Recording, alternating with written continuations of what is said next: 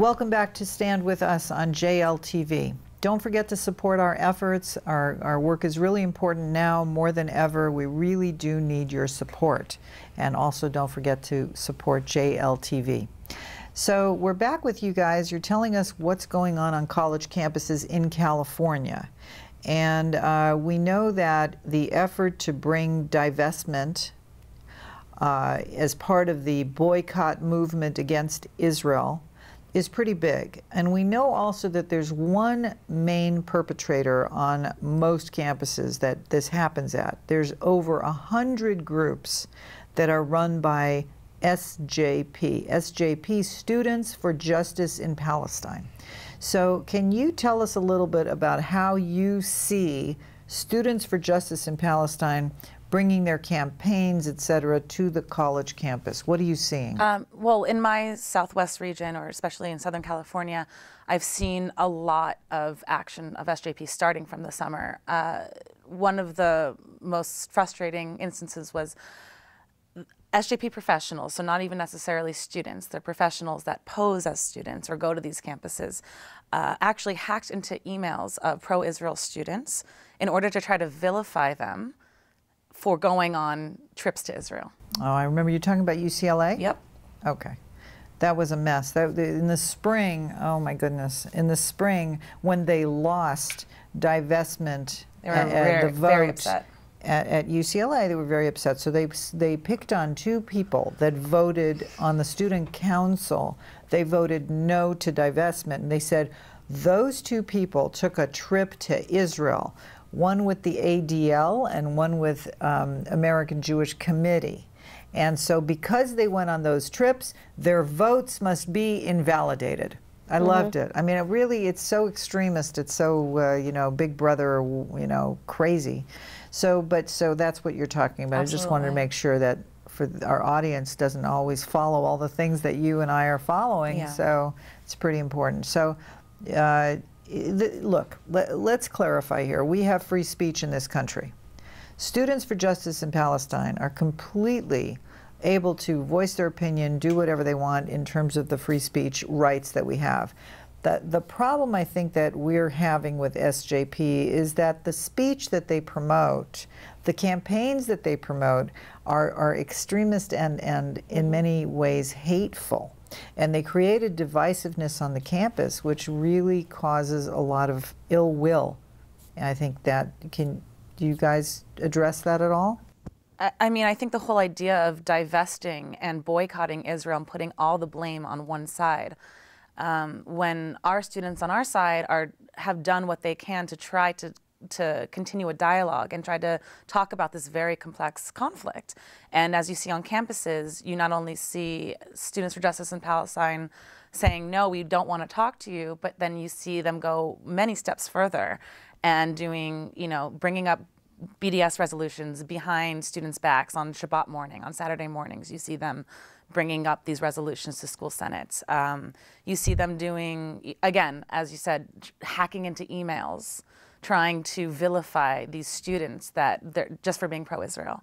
So they're really taking this, they're crossing the line into hate We've speech. had a lot of, um, or I've had a lot of students who have requested to have dialogue events. Um, you know, with their SJPs on campus, and they get shot down every time. They just don't want to have that conversation. They're not interested in talking, and instead, like Jen said, I mean, they're bringing BDS without discussing anything on campus. And our students are saying, you know, if we can't talk here, what are you expecting them to do over there? It just, it doesn't make any sense.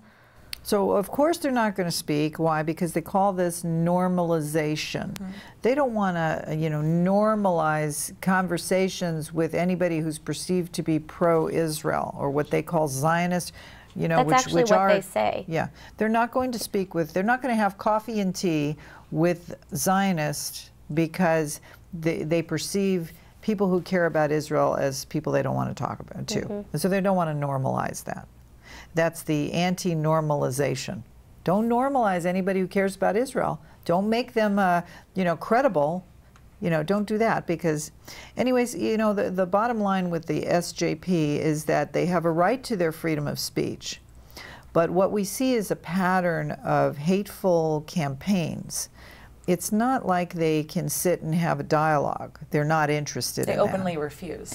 They openly refuse dialogue, which is with any interesting. Zionist. Right. They specifically say that. I Well, mean, sometimes they say Jews. it's, it's yeah. sometimes they say Jews. So, and you bring up a, an interesting point about being Jewish and, and having this double standard applied to Israel or people who care about Israel, where you can see this, and, and we call that anti Semitism, when a, when a standard is applied to Israel that's not applied to any other country, or, or that Israel is blamed for what the SJP say their human rights abuses, whatever happened this summer, uh, all the death and destruction in Gaza, and there was death and destruction, but you know we feel strongly that it was the fault of Hamas.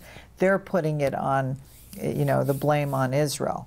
So blaming only Israel for a conflict that is old, you know, that's what they try to do. They're not a participating party. And that's the double standard that we see, which is really deep and very important. Right. Well, I think something on the positive note that our students have been proactively doing is making this a human rights issue uh, in America, in, a place where freedom of speech is valued, but also equality and justice and liberty for all. Uh, it's starting to resonate with our students that if we make this about our human rights, that we have equality, we have the freedom, the right to freedom of speech to express ourselves, that SJP tries to shut up. Um, it, it is really helping with outreaching to other students that don't know about Israel, but they care about our students feeling marginalized, which is what BDS does. BDS marginalizes our students, so the boycott movement on campus is really working hard to marginalize our students. That's that's what it feels like it's doing. And our students have to stand strong together and not feel marginalized. That's the whole goal.